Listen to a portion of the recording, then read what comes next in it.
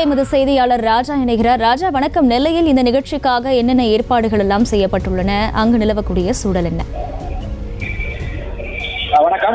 அஹ் நடிகர் விஜய் நெல்லை தூத்துக்குடி மாவட்டங்களில் கனமழையால் பாதிக்கப்பட்ட சுமார் ஆயிரத்தி ஐநூறு குடும்பங்களுக்கு நிவாரண உதவிகளை வழங்க வருகிறார். மேலும் வெள்ளத்தில் உயிரிழந்தவர்களுக்கும் வீடு இழந்தவர்களுக்கும் அவர் நிதியும் உதவி வழங்கியுள்ளார் இதற்காக அவர் இன்று காலை பதினோரு பதினைந்து மணி அளவில் தனி விமானத்தில் தூத்துக்குடிக்கு வருகை தந்து சாலை மார்க்கமாக பாளையங்குட்டை கேட்சினர் உள்ள மாதாமலைக்கு வர இருக்கிறார். இதற்காக நெல்லை தூத்துக்குடி மாவட்டங்களில் உள்ள பயனாளிகளை அவர்கள் ரசிகர் மன்றத்தில் தேர்வு செய்து மாதாமலைக்குள் அனுப்பி வைத்தனர். தொடர்ந்து அவர்களுக்கு அரிசி மளிகை பொருட்கள் காய்கறி உள்ளிட்ட பொருட்களை தொகுப்பாக வழங்க இருக்கிறார். சுமார் ஆயிரத்தி நூறு பேருக்கு வழங்க இருக்கிறார்.